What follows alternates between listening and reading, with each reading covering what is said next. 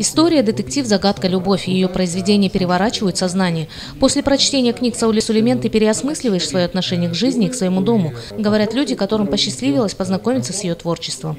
Известный казахстанский режиссер, деятель культуры Республики Казахстан Журабек Мусабаев, который приехал в Шимкент специально, чтобы побывать на литературном вечере, не скрывает.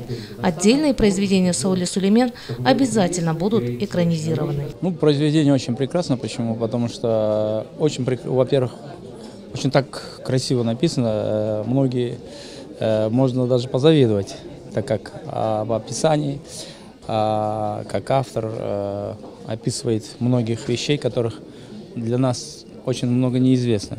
Особенно для меня. Почему? Потому что так как я очень много сталкиваюсь, чтобы снимать кино, и в этих произведениях очень много есть такие детали, которых можно было бы взять на кино.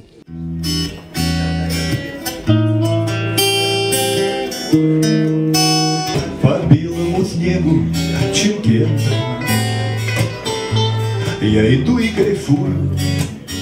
Музыканты и исполнители, ставшие прототипами героев книг Саули Сулеймен, дарили всем собравшимся песни, которые обычно исполняют, что называется, для души.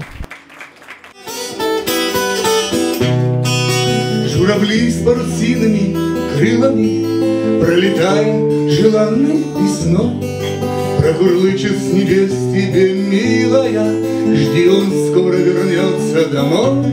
Марлен Даулинбаев – один из немногих счастливчиков, кто знакомился с произведениями Саули Сулеймен в черновом варианте. Как признается сам Марлен, его любимое произведение – это «Три истории одного города».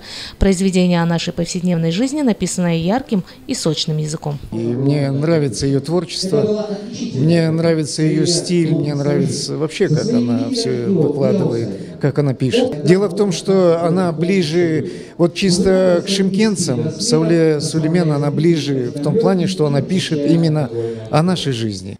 Незадолго до проведения мероприятия в социальных сетях и на официальной страничке издательского дома BS был объявлен конкурс среди поклонников творчества Сауле Сулеймен. Желающих оказалось немало.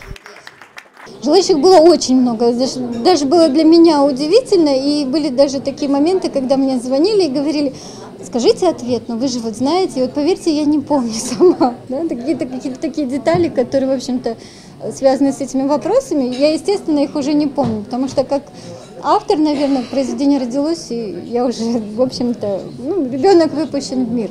По мере того, когда мы приглашали друзей для того, чтобы рассказать об этом радостном событии, друзья стали говорить, а мы давно не видели, хотели почитать твою книгу и задать вопросы как тебе, как писателю, по поводу книги «Сказки старого Нуджи», по поводу новых твоих книг, по поводу проектов, которые связаны с издательским домом.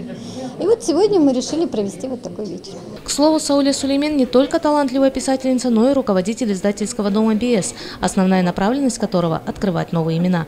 А потому информация Информация, что издательский дом вошел в Интернациональный союз писателей, стала своеобразным подарком к мероприятию.